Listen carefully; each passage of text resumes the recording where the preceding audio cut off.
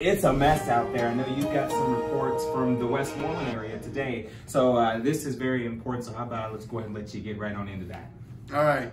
Coming into Westmoreland, going out of Westmoreland, 31W, the ridge, the hill there that you have to come up or go down. Yeah, they shut that down.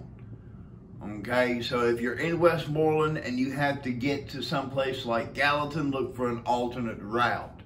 If you're trying to get into Westmoreland, and you do find a way in uphill, remember, drop the vehicle down in low and go slow. You will make it up the hill.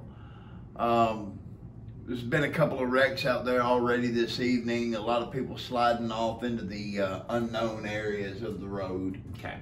You know, so just, you know, like we always say, people, be weather aware, be aware of what's going on around you. And in weather like this, if you have to be out in it, remember, drive defensively.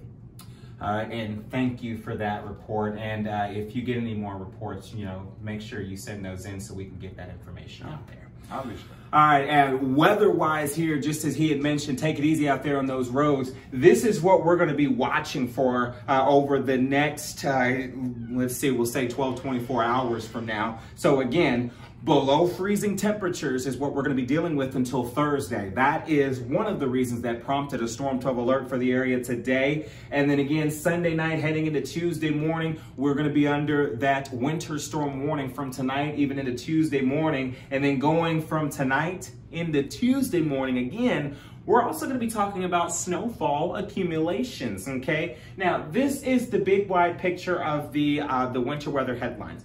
If you are shaded in pink, I'll actually step out of the view there.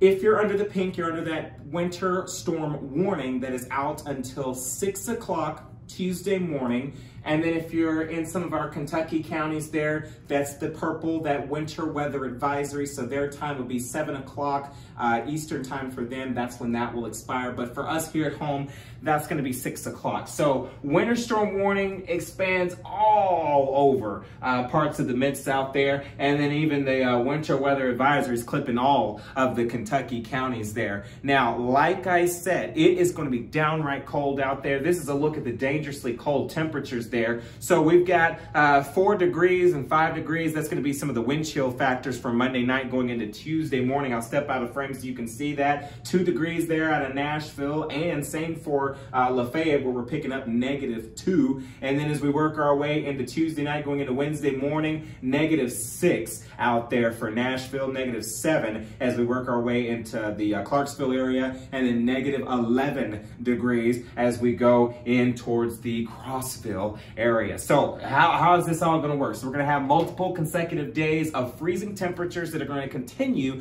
until the late day on Thursday. The coldest temperatures that your body is going to feel will be Monday and Tuesday night. So Monday night into Tuesday night is when you're going to get that harsh cold temperatures. Remember the four P's, guys. People, check on your people, okay? Elderlies, children, and those that are without heat right now. Make sure you check on those people, the pets as well. Make sure you bring your four-legged pal uh, inside there. Any plants, okay, that cannot be brought inside, make sure they are covered with love. They are taken care of love, okay? TLC, tender love and care. Now, those pipes, okay, make sure those pipes are dripping tonight, okay? You don't want to wake up in the morning with frozen uh, pipelines. That just wouldn't be too good. Uh, so again, reminder. And again, there's a look at the evening planner where you'll note we've got those temperatures uh, just kind of hanging in the chilly zone spot, okay? And we're to be picking up from snow between 9 o'clock all the way up into parts of the 6 o'clock in the morning time frame. And so it's still to be snowing out there. As far as that super seven-day forecast goes,